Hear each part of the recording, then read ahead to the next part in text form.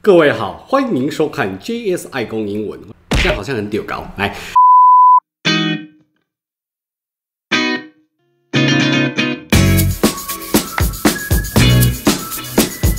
大家好，欢迎收看 JS 爱公英文，就是爱公英文。因为呢，我们之前啊有拍过一部呢怎么记单字的这个影片啊，然后呢非常受到大家的欢迎哦，所以呢，我想单字学习这件事情呢，应该是困扰着相当多的人哦。所以接下来我想要花一点时间呢，针对我那部影片里面哦所介绍的一个非常佛心的 App，我想大家应该还记得，就是 E4 App。English for Formosa 啊，我咱台湾人写给这个 English for Formosa，我们来做进一步的功能说明跟介绍。只因为呢，这个软体实在是太棒了。如果你还没下载的话呢，Android 的使用者呢，请到这个 Play Store。那如果是苹果手机的，就到 App Store 搜寻 E4F，应该就会看到这个 E4F 啊，这个 E 四 F，然后呢，字根字首字尾的字典，好多字哦，所以你们知道该怎么做啦，就把它下载下来。E4F 它的功能非常的多，那我们今天呢要跟各位介绍的是它的长单字拆解的功能，就是很长的单字我把它拆解。OK，例如说，我们拿这个 internationalize 这个字来做说明好了。你如果用的是一般的字典啊，哦，你是把它输入进去之后，你看到说啊，internationalize，然后它的意思是什么啊？把点点点置于国际共管之下，或者呢使国际化，就这样，你查这个单字，你就得到它的意思。对于很多人来说呢，这样其实就够了。但是呢，我们如果想要进一步了解的话呢，就一定要。拿出我们的 E4F 这个 app，好，那我们来看一下，我们把它输入进去啊，internationalize，OK，那。输入之后，你会发现到这边它有讲到哦，internationalize 啊，它一样，你可以看到这边使国际化置于国际管理下，就这样。但是我想要让大家来看的就是它下面这边你看到有一个字，有一个尾哦，那什么意思呢？就是 internationalize 这个字其实可以把它的字尾拆出来。那我们看到这边哦，这个字的字尾是 i z e，那你看到 i z e 它是一个动词啊。那你看到这边它有一个箭头，其实都可以再把它点进去。那我们就点进去。去看一下 i z e 哦，它是一个动词哦。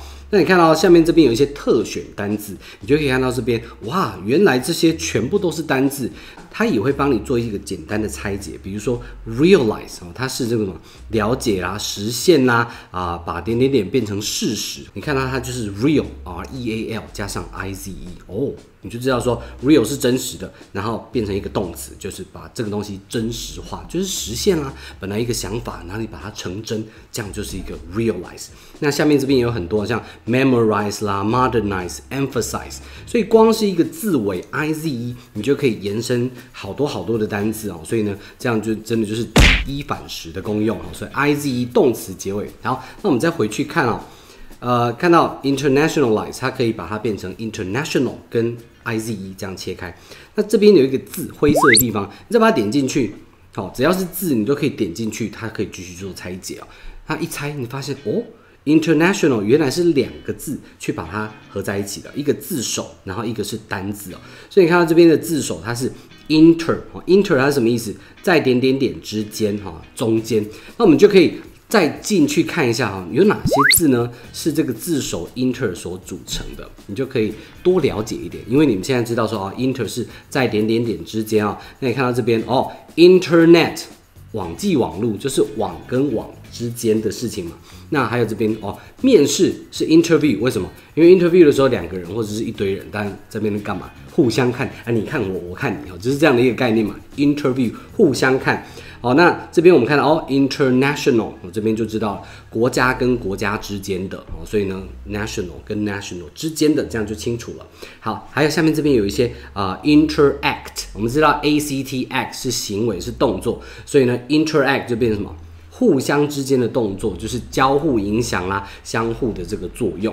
OK，好，那我们再回去看，所以你看哦，internationalize 可以这样去切哦。那看到 inter 跟 national，那 national 大家是干嘛？哦，国际牌嘛。哦，这个除了这个 national 国家的意思之外呢，我们可不可以进去看一下它还有里面藏什么东西呢？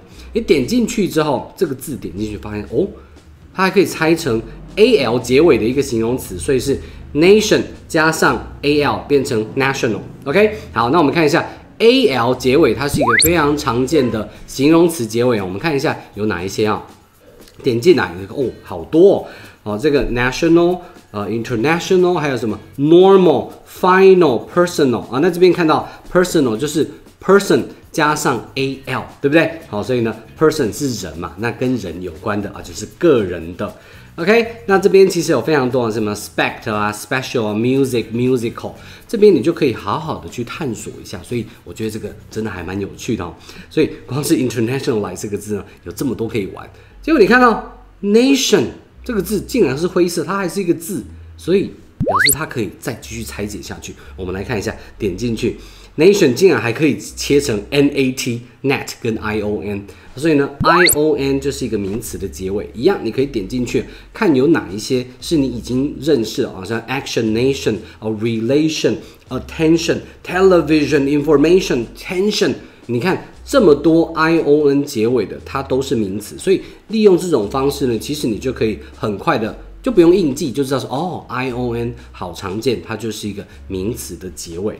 OK，好，所以这边我们再回来看到 NAT 哦，那 NAT 呢，其实它就是比较难一点点的字根呢，因为很多时候我们不知道说哦，原来 NAT 还有这个意思啊。我们点进去，NAT 其实就是出生的意思，出生。好，我们举 native 这个字好了，native N A T I V E，我们比较常见的呢是它的这个形容词的用法，也就是呢本地的。本国的，但是呢，这边其实你可以看到，它这边有一个名词啊，就是本地人或者是土产土人，就是在地在地的。所以呢，我们常常会讲到，就是说，哎，我是嘉义在地人哈，我是嘉义土生土长的。那你怎么说？英文就是 I am a 嘉义 native，就这样，OK。所以呢，NAT 它是跟生有关。那下面这边有好多 NAT 哦，nature、nation、natal，OK。还有这个，哇，这个很适合讲 Innate。OK，innate 就是所谓的天生的。一般我们会说一个人哦，就是天赋的能力哈。那 innate 哦，N-A-T 是生，那 I-N 是进入，所以呢是他生出来的时候，就是他体内就有了。生出来的时候，他体内就拥有，就已经进入到了生命里面了。所以这个就是他天生的、天生而来的天赋的东西哈。innate ability 指的就是这种东西。所以呢，你看 internationalize 借由这一个。